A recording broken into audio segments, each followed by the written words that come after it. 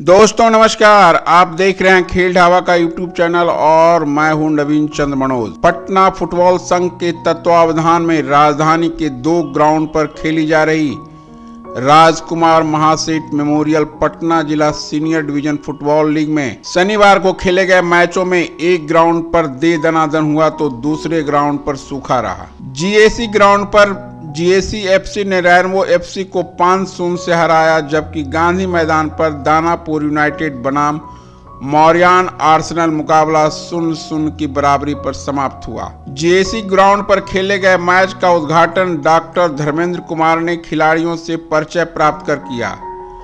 इस मौके पर पूर्व महापौर श्याम बाबू राय पीएफए के कोषाध्यक्ष एलपी वर्मा पूर्व फुटबॉल खिलाड़ी मनोहर राय, दीपक कुमार समेत कई गण्यमान व्यक्ति मौजूद थे। अपने होम ग्राउंड पर खेल रही एफसी की टीम के खिलाड़ियों ने बेहतर खेल दिखाकर अपने प्रशंसकों को मंत्र मुग्ध कर दिया। खेल के 19वें मिनट में अफरीदी हाजरा ने गोल कर जीएसी को पहले हाफ़ में एक शून्य की बढ़त दिला दी। दूसरे हाफ़ में दोनों टीम के खिलाड़ी नए जोश के साथ मैदान पर उतरे। दूसरे हाफ़ का खेल शुरू होते ही जीएसी के खिलाड़ियों ने रैनबो एफसी पर ताबड़तोड़ हमला शुरू कर दिया।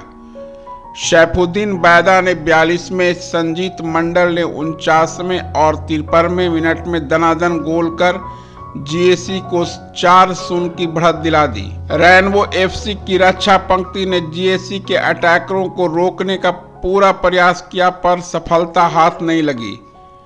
खेल के उनासीवें मिनट में महाशीन तरफदार ने गोल कर जीएसी को पाँच शून्य की महत्वपूर्ण बढ़त दिला दी, जो अंत तक कायम रहा। जीएसी के मुकेश कुमार को पीला कार्ड दिखाया गया।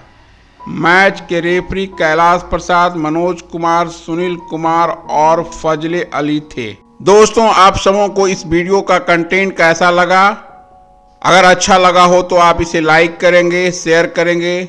खेल ढावा चैनल को अगर आपने अभी तक सब्सक्राइब नहीं किया है तो सब्सक्राइब कर लेंगे, बेल आइकन को दबाना ना भूलेंगे।